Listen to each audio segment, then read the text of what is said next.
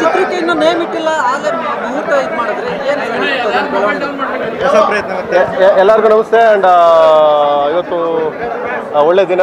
ಅಪ್ಪಾಜಿಯವರ ಹುಡ್ತಬ್ಬ ಹುಡ್ತಬ್ಬ ದಿವಸ cake cut ಮಾಡಿ ದೇವಿ ದರ್ಶನ ಮಾಡಿ. ಇವತ್ತು ಮೈಸೂರಲ್ಲಿ ಒಳ್ಳೆ ದಿನ ಅಂತ ಹೇಳ್ಬಿಟ್ಟು ಅವರ ಹುಡ್ತಬ್ಬ ದಿನ ಲಾಂಚ್ ಮಾಡಿದ್ದೀವಿ ಸಿನಿಮಾ ಯಾಕಂದರೆ ಏಪ್ರಿಲ್ ಇಪ್ಪತ್ನಾಲ್ಕಕ್ಕೆ ಲಾಂಚ್ ಮಾಡಬೇಕಾಯ್ತು. ಮೊದಲಿಂದನೂ ಅದೇ ಇತ್ತು. ಕೆ ವಿ ಎನ್ ಸರ್ ಅದೇ ಹೇಳಿದ್ರು ಇಪ್ಪತ್ನಾಲ್ಕಕ್ಕೆ ಲಾಂಚ್ ಮಾಡೋಣ ಅಂತ.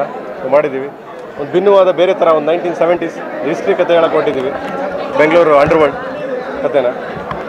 ಟ್ರೈ ಬೆಸ್ಟ್ ಏನೋ ಮಾಡೋಣ ಬೆಸ್ಟಾಗಿ ಮಾಡ್ತೀನಿ. ಸಿನಿಮಾ ಎಲ್ಲ ಮಾಡಾದ್ಮೇಲೆ ಆಮೇಲೆ ಮಾತಾಡ್ತೀನಿ. ಹೆಸರು ನೆಕ್ಸ್ಟ್ ಮಂತ್ ಲಾಂಚ್ ಆಗುತ್ತೆ. ಮುಂದಿನ ತಿಂಗಳು ಲಾಂಚ್ ಆಗುತ್ತೆ. ಯುದ್ಧದ ಮುನ್ನುಡಿ ಯಾವ ರೀತಿ ಯುದ್ಧ ಯುದ್ಧ ಗೊತ್ತಾಗುತ್ತೆ ಸಿನಿಮಾ ಬಂದಾಗ ಗೊತ್ತಾಗುತ್ತೆ ಯಾವ ರೀತಿ ಯುದ್ಧ ಮಾಡಿದ್ರೆ.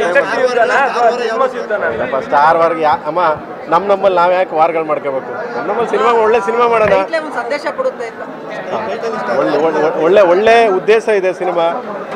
ನಾಟ್ ಓನ್ಲಿ ಕಮರ್ಷಿಯಲ್ ಅದಕ್ಕೊಂದು ಒಳ್ಳೆ ಉದ್ದೇಶ ಇರ್ತದೆ ಒಂದು ಒಳ್ಳೆ ಕತೆ ಇದೆ ತುಂಬಾ ಅದ್ಭುತವಾದ ಕತೆ ಇದೆ. ಭಿನ್ನವಾಗಿ ಅಂದರೆ ಧ್ರುವರನ್ನ ಭಿನ್ನವಾಗಿ ತೋರಿಸ್ಬೇಕು ಅನ್ನೋ ಒಂದು ಪ್ಲ್ಯಾನಿಂಗ್ ನಡೀತಾ ಇದೆ.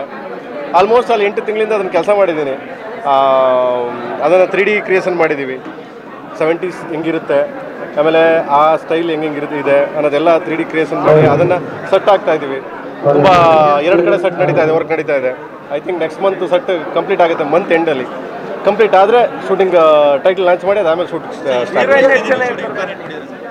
ಅಪ್ಪ ಅಪ್ಪ ಸಾರಿ ಗೊತ್ತಿಲ್ಲ ಮನೆ ಮಾಡ್ತೀನಿ ಅಷ್ಟೇ.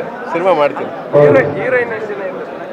ಅದು ಗೊತ್ತಿಲ್ಲ ಶುರು ಮಾಡ್ತೀನಿ ಶುರು ಮಾಡಿದ್ಮೇಲೆ ನೋಡೋಣ ಯಾರು ಮ್ಯೂಸಿಕ್ ಡೈರೆಕ್ಟರ್ ರಿವೀಲ್ ಮಾಡ್ತಾ ಇಲ್ಲ ಬರ್ತಾರೆ? ಈಗ ಡೇವಿಡ್ ಕ್ಯಾಮ್ ಕ್ಯಾಮ್ರಾಮನ್ ಬಂದ್ಬಿಟ್ಟು ನಮ್ಮ ಕಣ್ಣುಗಳು ಬಂದು ಡೇವಿಡ್ ಇದ್ದಾರೆ ಈ ಸರಿ. ಒಳ್ಳೆ ಕ್ಯಾಮ್ರಾಮನ್ ಅವರು ಜಾಯ್ನ್ ಆಗಿದ್ದಾರೆ. ಈಗ ಒಬ್ಬೊಬ್ರು ಅವರು ಟೆಕ್ನಿಷಿಯನ್ ಜಾಯ್ನ್ ಆಗ್ತಾ ಇರ್ತಾರೆ ಹೇಳ್ತಾ ಇರ್ತೀನಿ.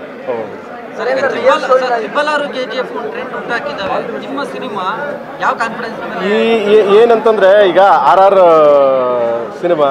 ಚೆನ್ನಾಗಿತ್ತು ಅಂದ್ಬಿಟ್ಟು ಇಡೀ ಇಂಡಿಯಾ ರೀಚ್ ಆಯಿತು. K G F cinema.